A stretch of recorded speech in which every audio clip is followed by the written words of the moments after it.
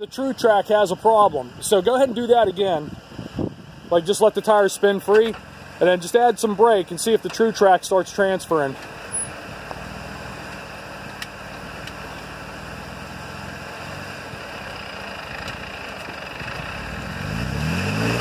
Don't do that. See if you could back up.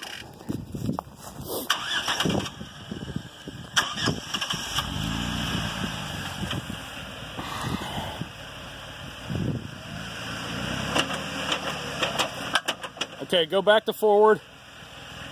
Now, don't spin fast, but put more brake while you're giving it gas. So, like, try to barely spin the tires, but using your brake and your throttle.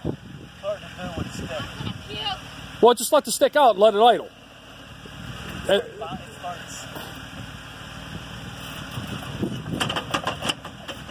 that's the U-joint bind. Try it there.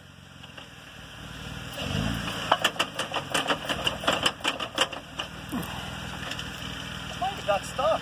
Uh, you might need uh, winched off of that grass right there. Because there ain't nothing to winch off of. Luckily, there's a big willy.